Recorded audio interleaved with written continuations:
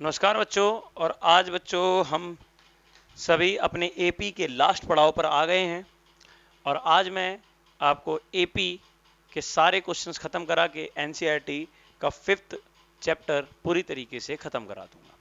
और अगर हमारे पास टाइम बचा तो प्यारे बच्चों, मैं आपको सेवन्थ चैप्टर भी आज शायद शुरू करा दूँ। तो आइए, शुरू करते हैं। फिफ्थ चैप्टर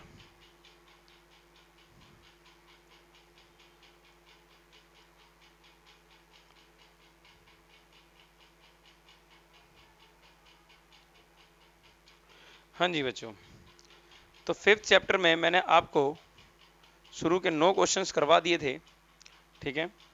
और आज और आज, प्यारे बच्चों, मैं आपको कुछ नए क्वेश्चंस करवाने जा रहा हूँ, जिसमें सबसे पहले मैं आपको बच्चों करवाऊँगा क्वेश्चन नंबर बारह। क्वेश्चन नंबर बारह। बच्चों, लिखा है find the sum of first forty positive integer divide by six देखो बच्चों, अब चाहे डिवाइड बाय सिक्स बोल दे, चाहे डिवाइड बाय एट बोल दे डिवाइड बाय टेन बोल दे डिवाइड बाय कोई सा भी नंबर एनी नंबर कोई सा नंबर का भी डिविजुअल बोल दे, इस टाइप का सम अगर निकालना हो तो सबसे पहले लेट द एपी इज़ आप एपी लेट करेंगे कि भाई जब सिक्स का डिविजल बोला है तो सिक्स से शुरू करेंगे। Six twelve eighteen dot dot dot last term अब लास्ट टर्म क्या होगा? तो प्यारे बच्चों, इसने बोला है सिक्स का डिविजुअल जो हमें लेना है, वो कहाँ तक लेना है? फोर्टी टर्म तक। कहाँ तक?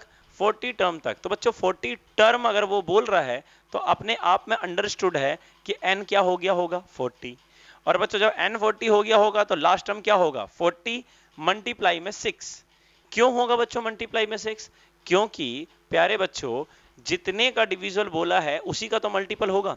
क्योंकि डिविजुअल तभी हो सकता है, जब वो उसका मल्टीपल हो। तो अगर 40 का मल्टीपल बोल रहा अगर 40 टर्म्स तक बोल रहा है तो 40 से कर दो।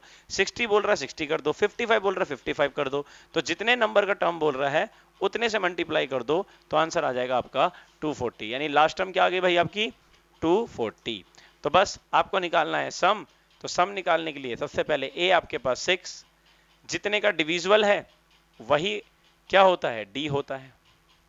सिक्स एन आपको 40 दे ही रखा है। ए एन आपने निकाल लिया 240 फोर्टी नाउ अब आपको क्या चाहिए बच्चों? S N N upon two A plus में ए एन एन फोर्टी दिया हुआ है।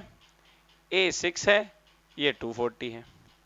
तो बस इसको कैंसिल करेंगे 20 मल्टीप्लाई में 246 तो ज़ीरो बारह, और ये नौ, और ये चार। तो आंसर कितना आ गया? 4920 ठीक है बच्चों? तो अगर ये 8 का डिविजल होता तो भी ऐसे ही करते। फिफ्टीन का डिविजन होता तो भी ऐसे ही करते ठीक है बच्चों? चलिए। क्वेश्चन नंबर तेरह। देखिए सेम क्वेश्चन है बच्चों सेम क्वेश्चन डिट्टो पता क्या बोला है? बस अब डिविजुअल की जगह आपकी बार क्या यूज़ किया है? मल्टीपल डिविजुअल की जगह क्या यूज़ किया है? मल्टीपल क्या मल्टीपल यूज़ किया है? कि बच्चों एपी बनाओ एपी बनाओ एट के फिफ्टीन मल्टीपल का। एट के कितने मल्टीपल का? फिफ्टीन मल्टीपल का। तो eight sixteen twenty four dot dot dot हाँ भाई लास्ट टर्म में क्या आएगा? तो कह रहा है एट का कितने मल्टीपल तक? पंद्रह मल्टीपल तक। तो पंद्रह मल्टीपल में तो वन ट्वेंटी आएगा। तो कह रहा है इसका सम निकालो। ठीक है जी। तो ए कितना है? एट डी की ज़रूरत नहीं है हमें। एन अभी बता ही दिया पंद्रह। क्यों? क्योंकि पंद्रह के मल्टीपल तक निकालना है। और लास्ट टर्म हमारा क्या आ गया? वन ट्वेंटी नाउ अब आपको पता ही है। एस एन क्या निकलेगा? N upon two A plus में ए एन एन पंद्रह अपॉन टू एट प्लस में वन ट्वेंटी तो पंद्रह बटा दो वन ट्वेंटी और 128 twenty eight cancel out sixty four तो पंद्रह चौक साठ का ज़ीरो छः, नब्बे और छः छियानवे। आंसर नौ सौ साठ। ठीक है? उतारो नोट करो।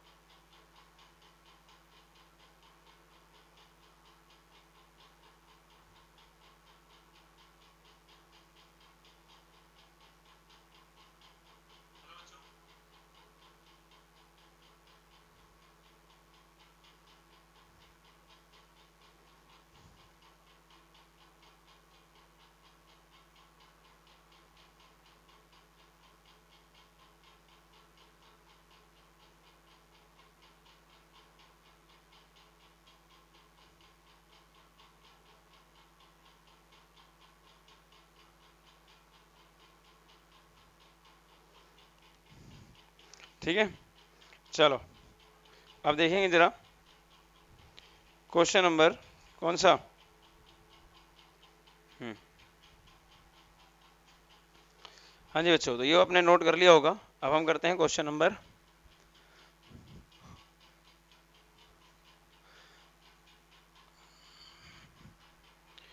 question number fourteen question number fourteen में बोला है, देखो, कितना आसान क्वेश्चन है।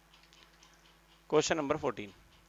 आपसे बोला है कि बच्चों, एक एपी बनानी है ऑड टर्म्स की। एपी बनानी है ऑड टर्म्स की ज़ीरो से फिफ्टी के बीच में। Let the AP between zero to fifty of odd numbers of odd numbers Hindi वाले क्या लिखेंगे? माना ज़ीरो से पचास के बीच विषम संख्या का एपी विषम संख्या का एपी ठीक है? विषम संख्या का एपी तो बच्चों, ज़ीरो से पचास के बीच में ऑड नंबर का एपी क्या बनेगा? वन क्योंकि ज़ीरो के बाद अगला नंबर ऑड कौन सा है? वन फिर थ्री फिर five dash dash dash fifty से पहले कौन आता है? फोर्टी नाइन तो चलिए, अब हमें पहले, अब देखो, अब तक मैंने जो दो क्वेश्चन करवाए, उसमें एन दिया हुआ था, लेकिन इस वाले में एन नहीं दिया हुआ है। तो ए कितना होगा? वन। डी कितना होगा? A two minus A one मतलब three minus one always two और ए एन कितना दिया हुआ? फोर्टी नाइन अब कह रहे इसका सम निकालो। लेकिन बच्चों सम निकालने से पहले ये बताओ कि आपके पास एन दिया हुआ है? नहीं दिया हुआ है। तो पहले आपको एन निकालना पड़ेगा। नाउ तो ए एन कैसे एन कैसे निकालते हैं? ए प्लस में एन माइनस वन डी तो ए एन कितना है? फोर्टी नाइन ए कितना है? One N minus one N minus one बोले तो? हाँ जी एन तो पता ही नहीं है, और डी डी कितना दो? प्लस का वन बच्चों इधर आके माइनस का N minus one two forty nine में से वन गया, कितना आ गया? फोर्टी एट टू यहाँ मल्टीप्लाई कर रहा इधर आके डिवाइड टू से कैंसिल आउट हो गया ट्वेंटी फोर माइनस वन इधर आके प्लस का वन तो एन एन कितना आ गया बच्चों? ट्वेंटी फाइव एन कितना आ गया? ट्वेंटी फाइव ठीक है? तो एन आ गया ट्वेंटी फाइव एन आ गया ट्वेंटी फाइव ठीक है बच्चों? और अब क्या करेंगे? नाउ एस एन निकालेंगे। तो एस एन कितना होगा? एन अपॉन में टू ए प्लस में ए एन तो एन कितना है? Twenty five upon two A कितना है? वन ये कितना है? फोर्टी नाइन तो बस, ये आ गया फिफ्टी टू से cancel out twenty five twenty five into में twenty five six twenty five तो इस तरीके से बच्चों हमें सम निकालना था, जो हमने निकाल दिया। फटाफट करेंगे, अगला क्वेश्चन करवाता हूँ।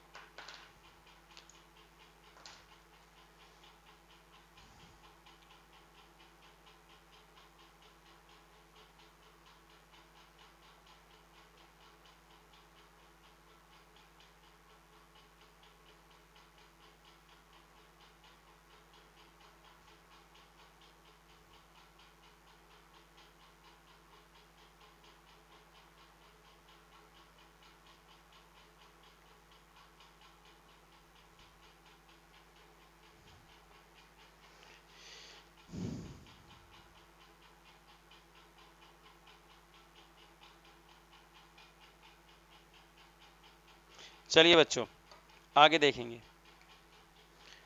आगे देखेंगे फोर्टीन हो गया हमारा। इसके बाद बच्चों मैं करवाने जा रहा हूँ क्वेश्चन नंबर ग्यारह। और क्वेश्चन नंबर आप कहोगे फिफ्टीन क्यों नहीं करा रहे हो सर तो फिफ्टीन से आपके कोर्स से कट चुका है, बहुत साल पहले ही। इस साल नहीं, बहुत साल पहले ही।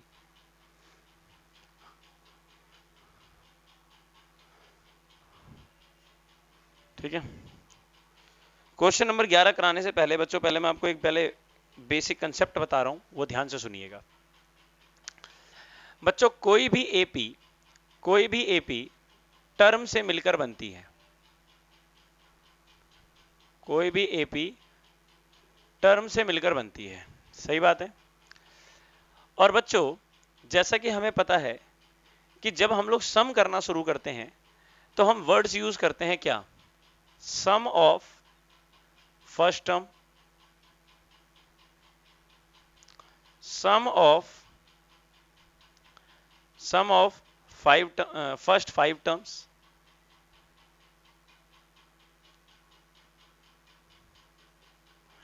sum of first ten terms Hindi में प्रथम पद का योग, पहले पाँच पदों का योग और पहले दस पदों का योग।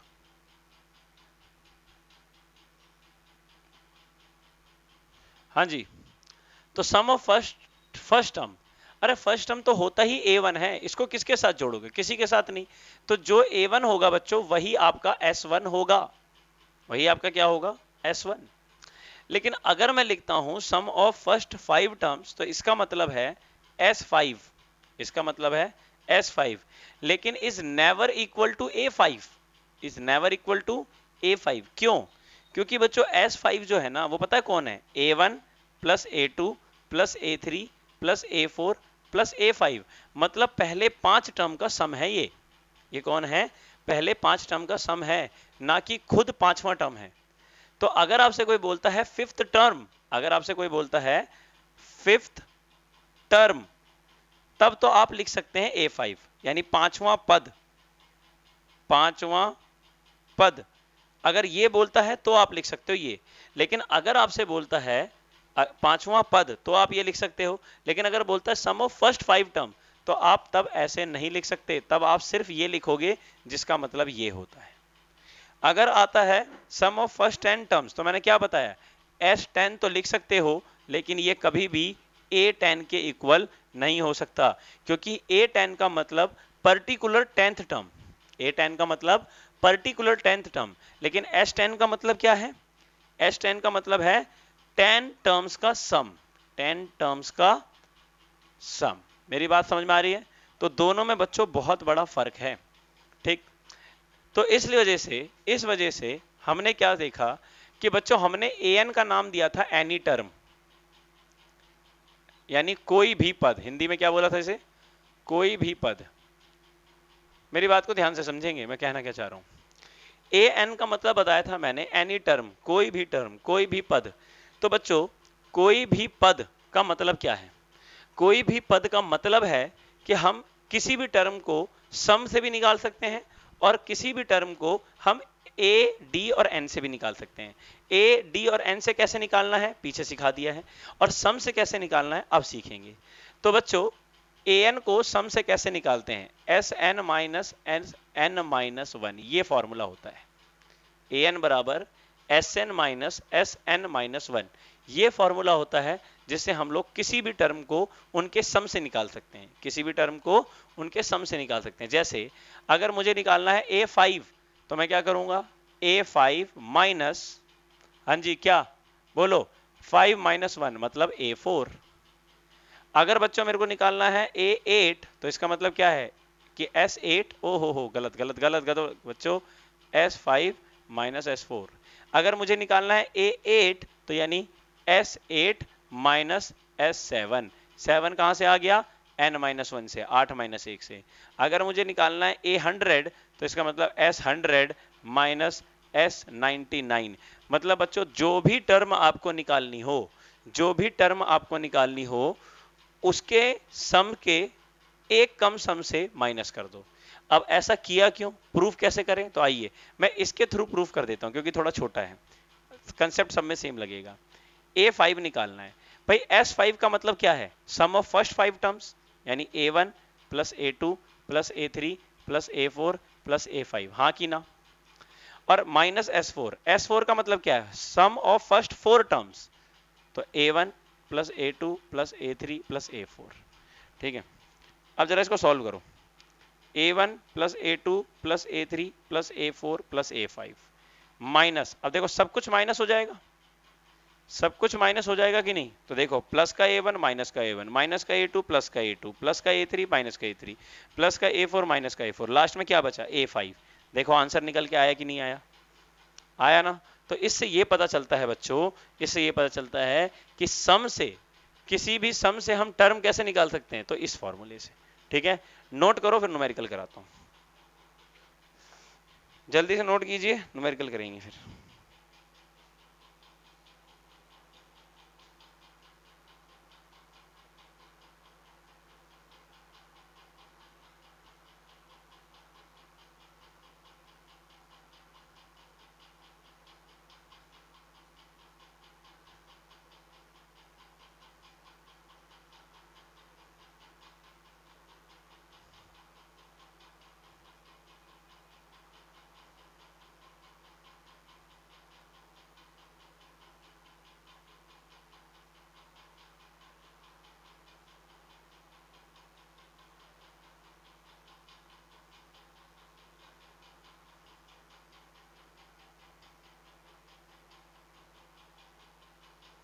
चलिए नोट कर लिया होगा। अब करेंगे क्वेश्चन इसका क्वेश्चन बच्चों बहुत प्यारा क्वेश्चन है, बहुत ही प्यारा क्वेश्चन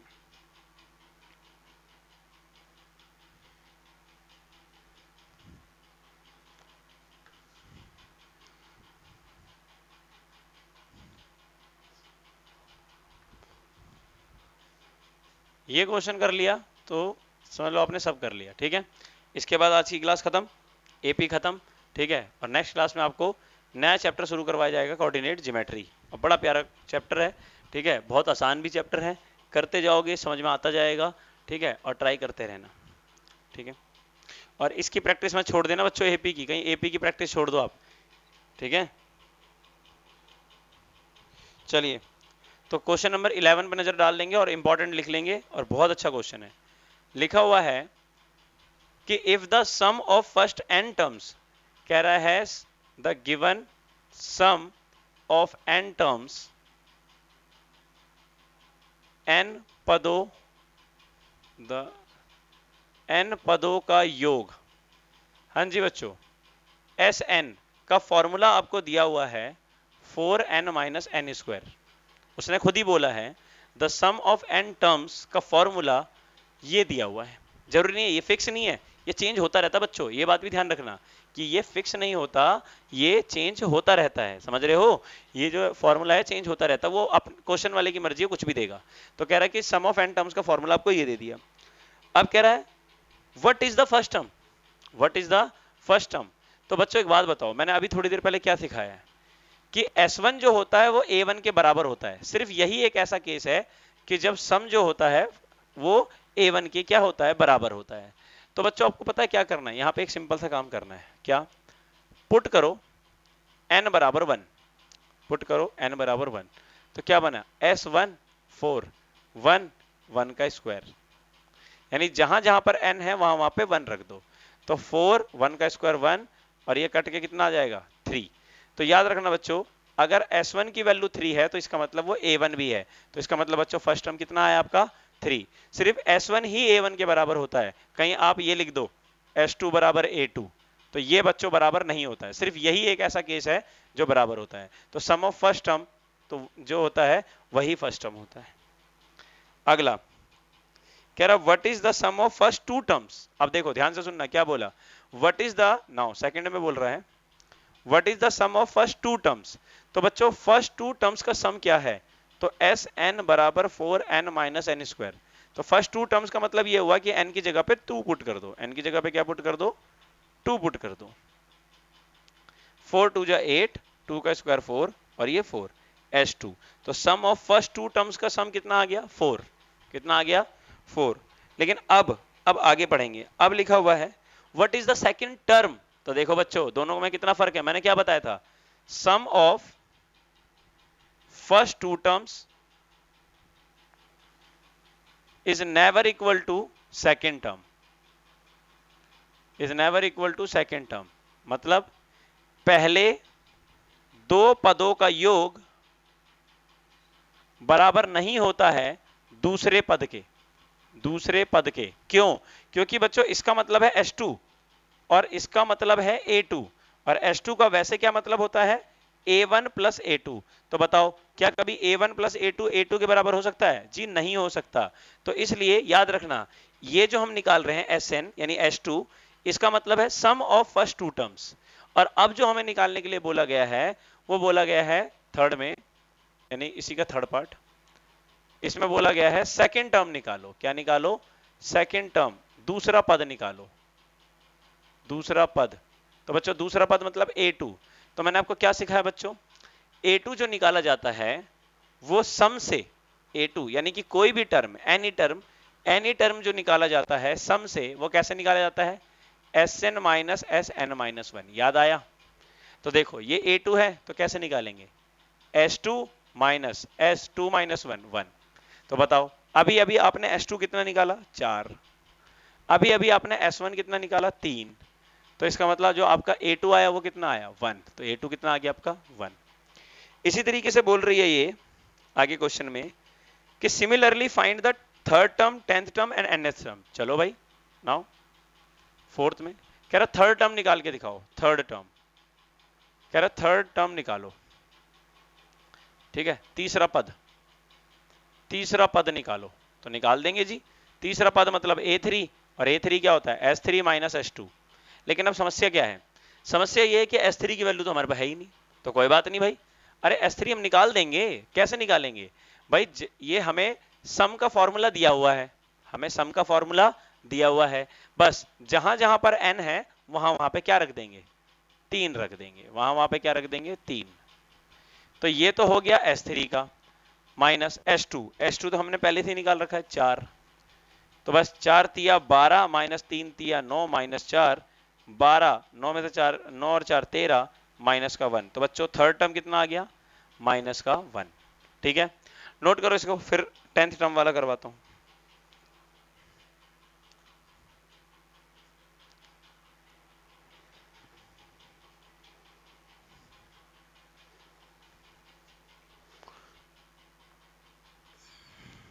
ठीक है? अच्छा अगला देखो। अब क्या बोला उसने? कि टेंथ टर्म निकालो। क्या बोला है? टेंथ टर्म ठीक है जी। अब अगर मुझे उसने बोला है इसके फिफ्थ पार्ट में कि टेंथ टर्म निकालो। टेंथ टर्म दसवां पद। तो बच्चों, दसवां पद मतलब ए टेन और ए टेन का मतलब होता है S ten minus S nine S ten minus S nine लेकिन बच्चों, ना ही मेरे पास एस टेन की वैल्यू है, ना ही मेरे पास एस नाइन की वैल्यू है। तो मैं क्या करूँगा? कोई बात नहीं। भाई, मेरे पास वैल्यू नहीं है। फॉर्मूला तो है। बस चार। एन की जगह पे पहले बार क्या रखूँगा? दस। फिर माइनस एन स्क्वायर मतलब दस का स्क्वायर। ये तो बच्चों टेन वाले में लगा लिया। अब फॉर्मूला किसमें लगाऊँगा? नाइन वाले में। तो फोर और एन की जगह पे नाइन। फिर एन स्क्वायर मतलब नाइन का स्क्वायर। तो क्या बन गया? Forty minus hundred, thirty six minus eighty one. तो ये 40 में से गया, minus sixty minus eighty one में से 36 गया। तो कितना आ जाएगा बच्चों? जल्दी बताओ। कितना आ जाएगा? 81 वन माइनस थर्टी सिक्स ग्यारह में पाँच पाँच सात में तीन के चार। यानी क्या आ जाएगा ये? माइनस का 45 तो ए टेन बराबर minus sixty minus minus plus का 45 तो ए टेन की वैल्यू कितनी आ गई? माइनस का 15 ए टेन की वैल्यू कितनी आ गई बच्चों? माइनस का 15 तो जल्दी से आप लोग मुझे ए एट ए थर्टीन और ए सेवन सेवन क्या? सेवन नहीं. ए फाइव ये निकाल के दिखाएँगे सभी बच्चे। ये निकाल के दिखाओ। A eight A thirteen A five ये मुझे निकाल के सेंड करो सभी बच्चे। इसका आंसर निकालो और सेंड करो मुझे। चलिए। मैं उम्मीद करता हूँ कि आपने इसका आंसर निकाल लिया होगा। ठीक है? अच्छा। अब इसका एक लास्ट और रह गया। ये नोट कर लिया ना सभी ने? वीडियो पॉज करके नोट कर लिया करो इसे फटाफट। ठीक है?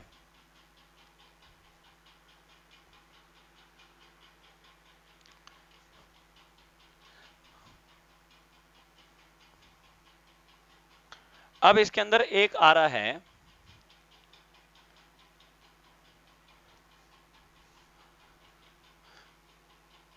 अब इसके अंदर एक आ रहा है क्या? सम ऑफ़ एन टर्म्स निकालो, वो सॉरी नाउ एनथ टर्म निकालो लास्ट क्या था? छठा था?